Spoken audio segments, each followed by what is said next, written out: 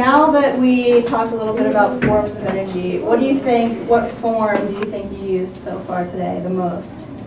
Uh, Chemical, electrical, mechanical? The sun beamed on me when I caught the bus. Yeah, so what are maybe four or five sources of renewable energy that you could name? Someone give a definition, Courtney?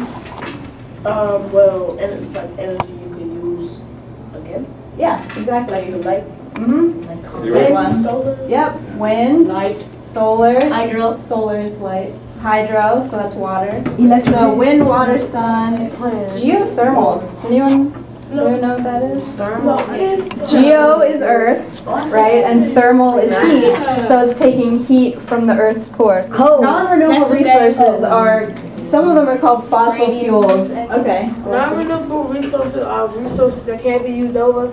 Uh-huh. What'd you say? Gas. Gas, yeah, so there's natural gas, nuclear, I heard, Oil. oil. How do you make coal now? Okay, That's why it's non-renewable. that's why it's not renewable. You got a battery? Yeah, like this. A battery has a positive end. If you look at it, it has a little positive, has a negative. Okay? If you run a wire outside the bulb like that, No, you give didn't. that a try and see what that does. You said put the wires together. You dropped it. That's why. Remember, you dropped it. Oh, this, uh, it keyboard go? there. Yeah. You dropped it. Stop shaking. One here. Okay.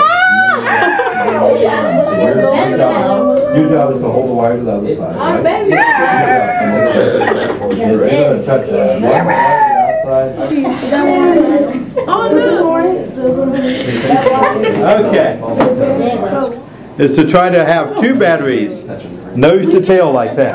Man's Hey, hey, it's your birthday. Oh, I know your birthday, Michelle. Sixth grade is smallest. Four might do it, okay. Oh, Four might do it. Okay.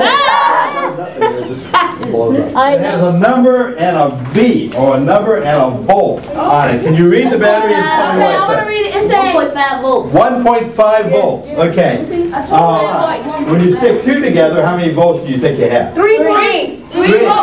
Okay, And then we stick another one and it was four point five. 4.5 indeed it was. And it's And when you, and when you stuck four together, you have six volts is the pressure that you can push on electrons with. This battery pushes on electrons with a pressure of 1.5 volts. You put two batteries together, it pushes with a pressure of Two, three. three volts, okay. Three batteries together, a pressure of. Whoa. four volts. The first word you need to know and memorize today It's volts. is volts. Okay. You're going to take that steam run a turbine. You're going to be the turbine. You're going to be the Transformer. the tran. You're going to be the generator. Uh, and I wanted to be the Yeah. transformer. She gonna be the transformer. you transformer. want to be the transformer, right? House. Mr. House. I mean, a rapper. Okay, yes, you can. No, make your hands bigger, bigger, bigger, bigger, bigger, bigger. You hold it. Come on, don't spill any. Bigger. Pull your thumbs back. Pull your thumbs. Okay, there you go. To the. Go to take it and make it to the boiler. Little fingers. Make it to the. You're going to, you're going to be the, put it into Is anybody not gonna drop none of You're them? going Open to, your head. you're going to drop it, you're going to take it up to a, right to the neighborhood. Take it to Erica, who is going to, to take it down to 110 volts to bring it into the oh, house. And you're going to use that electricity. Eat it, eat it, eat it. Look at that. Did we get what? They take this coal and they run it on the train and they burn it and they make electricity out of it. They lose electricity, uh, energy all the way along. All that is lost energy. Coal coming in at the front, you'd only get 30 units of electricity out at the back. So if you, if you had a dollar going in at the front, you'd only get 30 cents back at the end, so. And out of, out of a handful that you, you know, you all had at the beginning there, you'd have this little bit left over by the time you get to the house. Yeah, so the house is the place where we could actually conserve, or the school.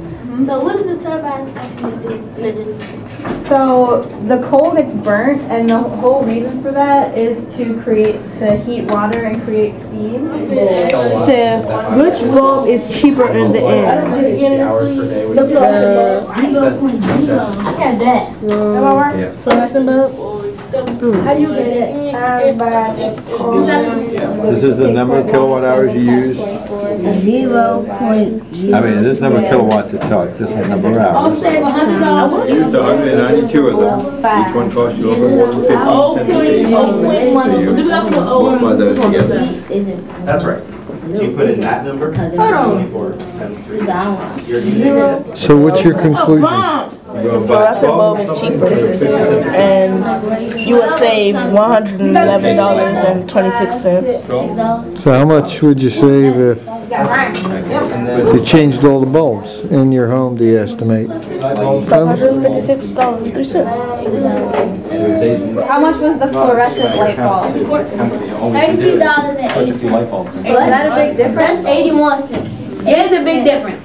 So which bulb is cheaper in the end? Fluorescent. Right. Fluorescent. Fluorescent. Fluorescent. Did anyone calculate how much you would save in one year? I got one. One hundred and One hundred eleven, twenty, and and twenty-six cents. Wow. So did anyone calculate how many bulbs they could change in their house and how much they'd save? Yeah. Like, Remember, I was saying five hundred and fifty-six dollars and thirty cents. What you have here is the boiler. This is what heats the building up. This is it. It's a hot water boiler. And what it does, it takes hot water and it circulates all the way around the building and brings it right back and comes back to the boiler. Heats it up again, reheat it, and just circulates around and around and around. And this is fired by, This is a gas boiler. okay, And and for a long time ago, when it was boys club, they used to take showers, so they needed a whole lot of hot water. This is where they were storing the water until it was ready to be used. Oh. Now, use, because you used to use it to wash your hands with, Mhm. now we use this tank, this is a smaller tank, that use less energy.